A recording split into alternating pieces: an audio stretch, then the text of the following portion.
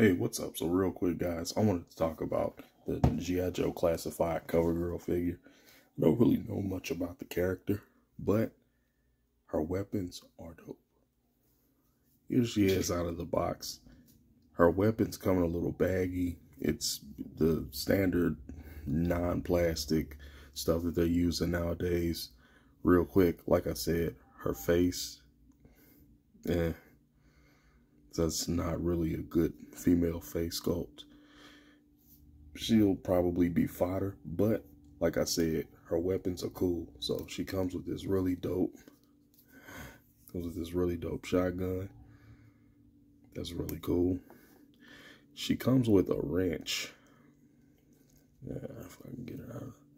She comes with a wrench. The detail is pretty standard for what it is for Hasbro. Uh, pretty cool. It doesn't adjust to anything. It's just a solid black piece of plastic, but it's cool.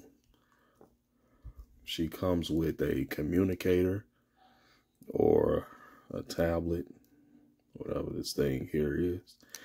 And last but not least, my favorite accessory.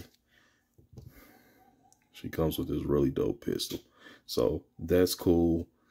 That's cover girl. Let me know what you guys think in the comments. Are you going to get her? Do you like her?